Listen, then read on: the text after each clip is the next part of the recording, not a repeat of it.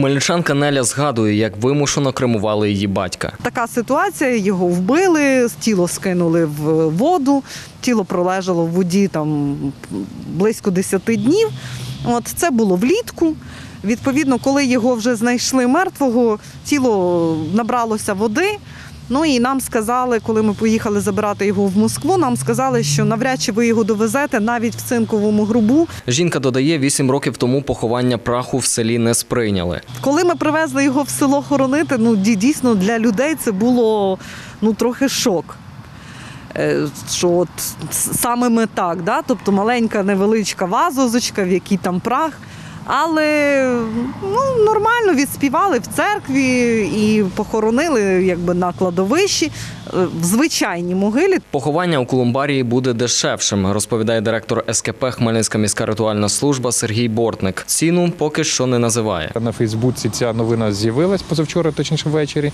Вчора вона так активно почала обговорюватись з хмельничанами.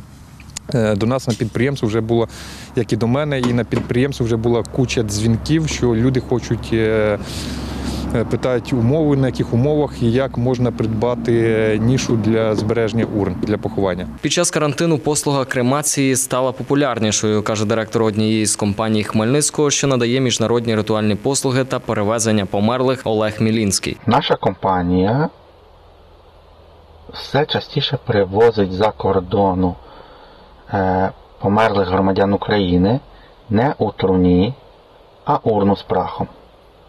Особливо тепер, під час того, коли в багатьох державах є різні карантинні обмеження.